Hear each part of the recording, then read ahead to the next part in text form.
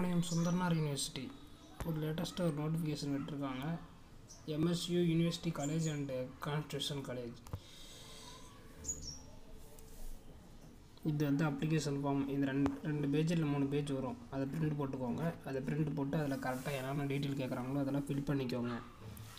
Registration fees வந்து நூறுரூபா நீங்கள் கட்ட வேண்டியதாக இருக்கும் அந்த காலேஜ் நேமுக்கு நீங்கள் அட் அ டைம் மூணு கோர்ஸ் செலக்ட் பண்ணிக்கலாம்.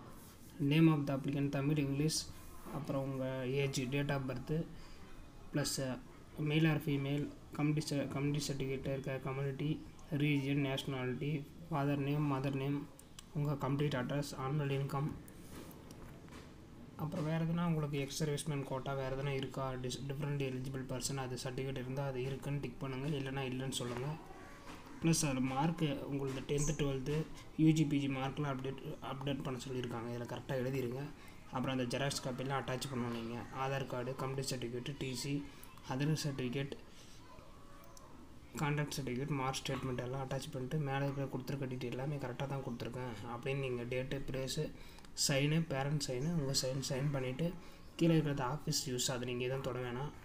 இதில் கோர்ஸ் டீட்டெயில் கொடுத்துருக்காங்க காலேஜ் நேம் கொடுத்துருக்காங்க கோர்ஸ் ஆஃபர் கொடுத்துருக்காங்க.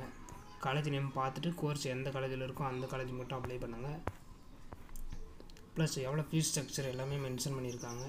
இந்த பிடிஎஃப்பை டவுன்லோட் பண்ணி படித்து பார்த்துக்கோங்க. இன்ஸ்ட்ரக்ஷனும் படித்து பார்த்துக்கோங்க. டென்த்து டுவெல்த் ரிசல்ட் வந்து பத்து நாளைக்கு பத்து நாளைக்குள்ளே இந்த ஃபோட்டோ காப்பி ஆஃப் சர்டிஃபிகேட்லாம் நீங்கள் கொடுக்கணும் அப்படின்னு சொல்லியிருக்காங்க.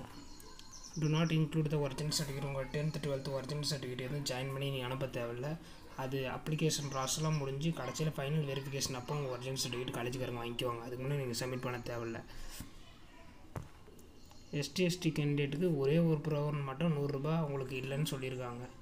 Exempted for only one course registration fees நூறுரூபா இல்லை. மீதி கோர்ஸ் நீங்கள் எக்ஸ்ட்ரா கோர்ஸ் இது பண்ணிங்கன்னா நீங்கள் ஃபீஸ் பே பண்ணி தான் ஆகணும்.